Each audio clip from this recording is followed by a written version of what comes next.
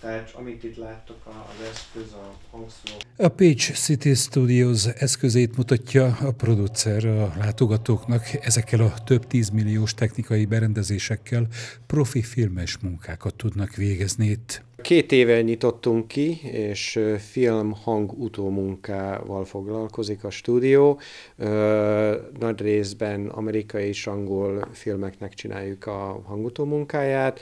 Most már majdnem két éve nyitva vagyunk, kb. 8, azt hiszem a 9. filmet fogjuk elkezdeni hamarosan. Ez, egy, ez ugye abból áll, hogy a teljes hangot mi rakjuk össze a filmhez, amihez professzionális stúdió eszközök vannak, amik kb. megtalálsz Hollywoodban is. Egy film részletet is bemutattak az érdeklődőknek, aminek a hangsávjait itt rakták össze.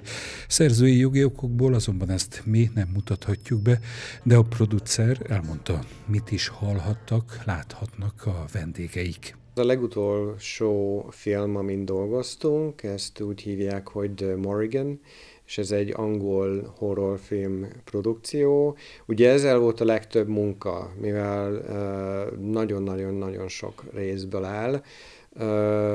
Egy horrorfilm az sokkal komplikáltabb, mint mondjuk egy dráma, ahol csak autóhang, pár lépés, ez az, de egy horrorfilmben nagyon-nagyon van, amikor egy sikítás, egy szörnynek az üvöltése az 10-15 hangból áll össze, és ezt fogjuk megmutatni.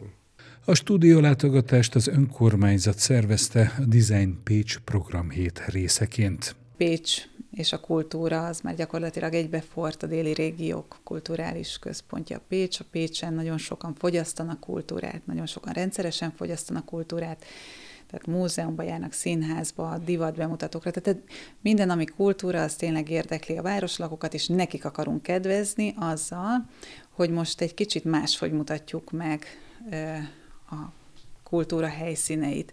Ezért szervezték meg a Design Pécs 2024-re a Pécsi Kreatív Ipari Backstage túrák elnevezésű rendezvénysorozatukat.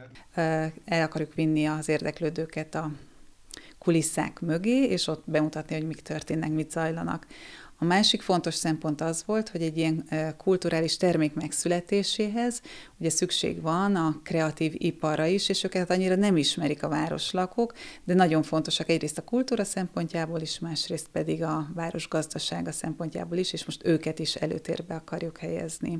Így a filmipar mellett a nagymúltú orgonaépítő manufaktúra, vagy éppen a Pécsi kesztyűgyártás világhíres műhelyébe is eljuthatnak az érdeklődők.